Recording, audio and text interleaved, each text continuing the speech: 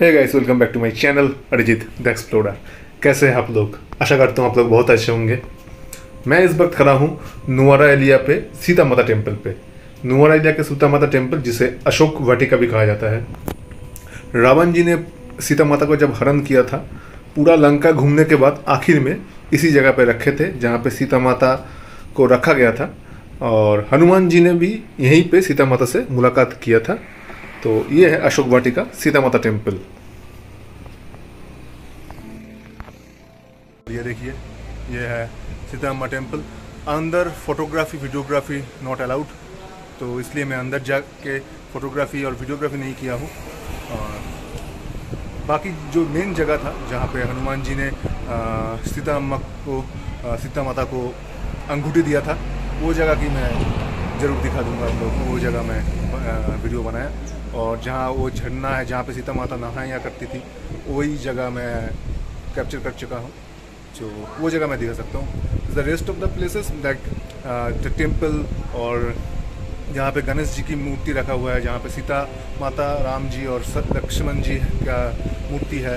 मतलब पूरा टेंपल वहाँ पे वीडियोग्राफी फोटोग्राफी अलाउड नहीं है, इसलिए मैं वो रील्स नहीं ढूँढने वाला। तो मेरा सजेशन मानिए तो अब जब नुआरा लिए पे आइएगा तो एक बार ज़रूर ये टेंपल को विज़िट कीजिए, ये देखिए। बाहर से ये दिखता ऐसा। है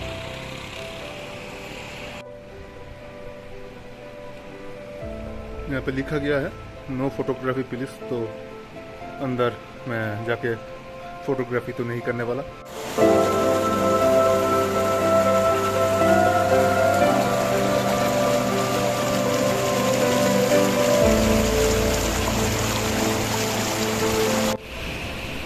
ये देखिए, हनुमान जी की पैरों के निशान, और यही वो जगह है, यही वो पवित्र जगह है, जहाँ पे हनुमान जी ने सीता माता से मुलाकात किया था, राम जी के कहने पे, और उन्हें तो उनको वो अंगूठी भी दिया था। ये है अशोक वाटिका। ये पूरा अशोक वाटिका है। सामने ये मंदिर है, और पीछे ये अशोक वाटिका था, जो एंशियंट टाइम के वो जगह जहाँ पे रावण जी ने सीता माता को रखा था। और यहीं पे हनुमान जी ने सीता माता से मुलाकात किया था। ये वो पवित्र जगह। यहाँ पे हनुमान जी के पैरों के निशान भी आप देख सकते हैं। इसको मानते हैं, इसको ही पूजा करते हैं लोग। यहीं पे लोग आते हैं और यहीं पे लोग पूजा करते हैं।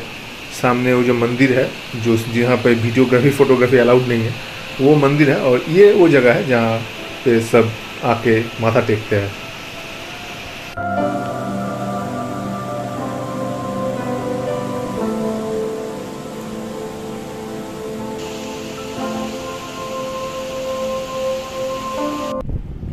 दोस्तों, ये है ग्रेगोरी लेक।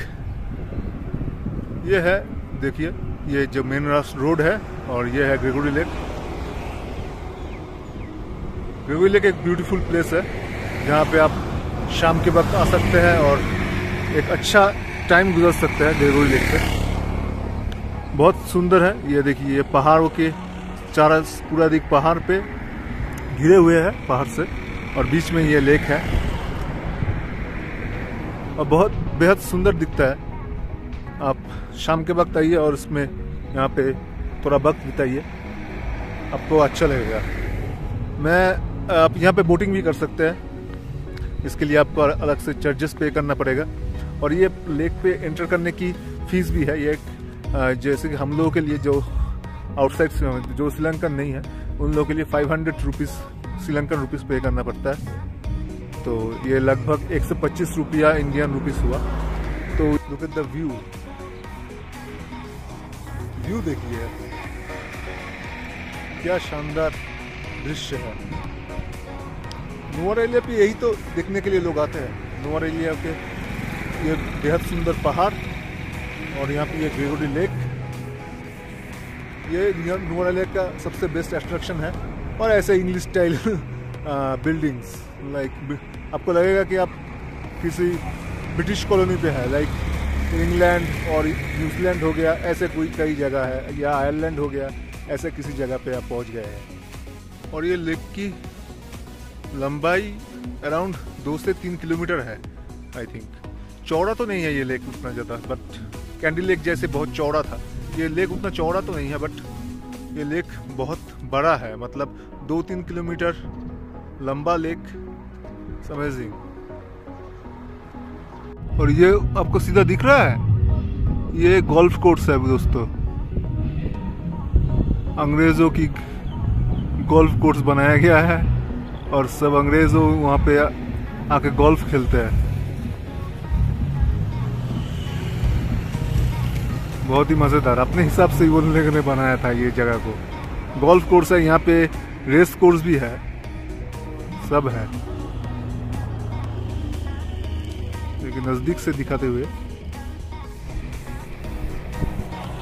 यहीं से जब आप आराम से घुस सकते हैं, पता नहीं वहाँ पे किस बात के 500 हंड्रेड एल के लिख के चार्ज कर रहा है।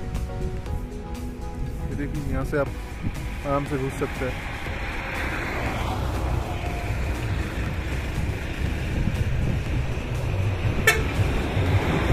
अगर आप लेक के नज़दीक रहना चाहते हैं तो ऐसे महँगे गेस्ट हाउस पे रह सकते हैं। और या तो ऐसे वैन पे भी रह सकते हैं। ये वैन ऐसे ही इसलिए किया गया होगा